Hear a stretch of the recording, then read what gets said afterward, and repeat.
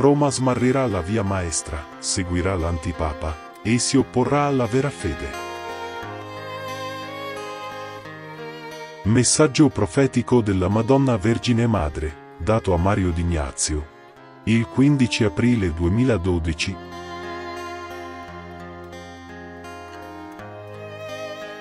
Nella luce del paradiso, vestita tutta di bianco, mi appare la Vergine Madre.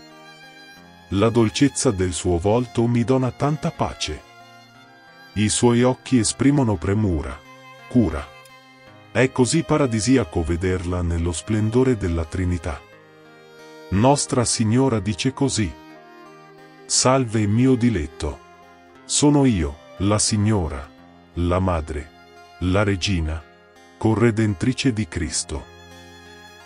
Mediante questa mia apparizione a Brindisi, domando preghiera senza limiti, digiuni, penitenze, riparazione. A Brindisi viene portato a compimento il messaggio di Fatima. Nella visione che mostrai a Lucia, il terzo segreto di Fatima, mostrai la spietata persecuzione che si scatenerà.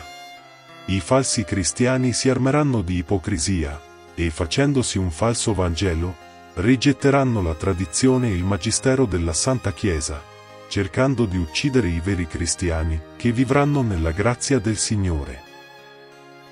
Lucia parla anche di un vescovo vestito di bianco, distinguendolo dal Papa, che appare più avanti nel segreto. Tale rivoluzione sarà terribile.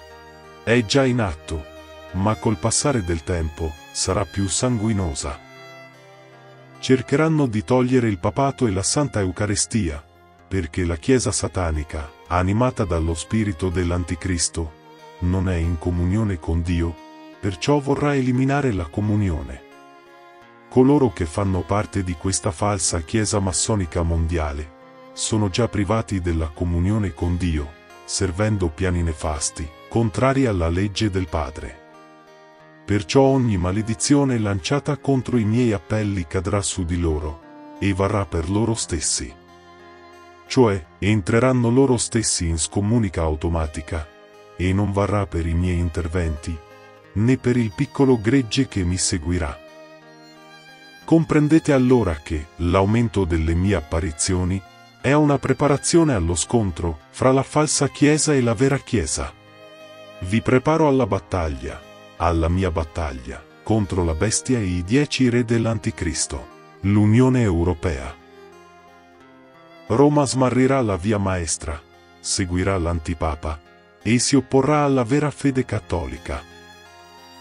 Mancheranno pastori santi, e lì dove li si forma, saranno formati secondo la setta nefasta e anticristiana, per creare fratture e diffondere nuove eresie. Nei seminari non si trasmetterà l'amore per il sacrificio e la povertà, ma l'amore per i piaceri e la mondanità. Nelle terre dove io giungo, saranno eletti vescovi persone inique votate a Satana, affinché distruggano quanto ho costruito, per raggiungere alti vertici nella Santa Casa. O Missis. L'umanità è molto, molto lontana dalla via della salvezza ed erra come una cieca, cercando la felicità nelle cose materiali.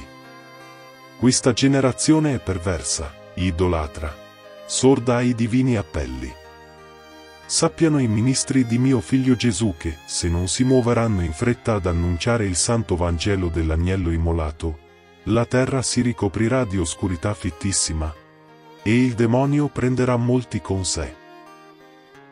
Le tenebre scenderanno per tre giorni e tre notti. Il sole non sarà più visibile. E sarà il castigo di Dio, che purificherà il mondo. Se il mondo continuerà a rinnegare la divinità di Gesù, e non lo riconoscerà quale unico Salvatore, avverrà una grandissima guerra che coinvolgerà le nazioni. Sarà la terza guerra mondiale. Si scontreranno le nazioni senza Dio, perché Dio abbandonerà alla guerra i popoli che lo hanno rinnegato. Il sangue scorrerà ovunque, non risparmieranno nemmeno le chiese di mio figlio. La strage sarà grande. Nuvole di denso fumo nero si eleveranno dal suolo, ottenebrando il cielo, che sarà come una fornace ardentissima, e l'aria diverrà irrespirabile. Dove si volgerà lo sguardo, si vedrà desolazione e morte. I morti saranno invidiati. Io, Madre Celeste, sto preparando i miei santi rifugi ovunque, poiché, dove il mio santo piede sarà stato poggiato, nessun male giungerà. Sto ricostruendo già ciò che è caduto. I luoghi delle mie apparizioni saranno luminosi, e lì si rifugieranno coloro che manterranno la virtù della fede. Nei luoghi delle mie visitazioni si manterrà accesa la vera devozione al mio immacolato cuore e la vera fede in Dio. Nostro Signore è molto offeso. Nessuno offre riparazione a Cristo Dio. Molti di coloro che si professano cristiani non camminano con Gesù. Molti di coloro che si professano cristiani sono chiusi all'amore. Bimbo mio, sono molto addolorata nell'intimo del mio cuore di madre. Il mio cuore è coronato di pungenti spine, che solo le anime ostie possono estirpare. Richiamo il mondo alla conversione. Se ciò non avverrà, se i miei doni saranno ancora calpestati ed insultati, se tutto resterà come adesso, la terra sarà un Getsemani, e si avvereranno questi due castighi, i tre giorni di tenebra e la grande guerra.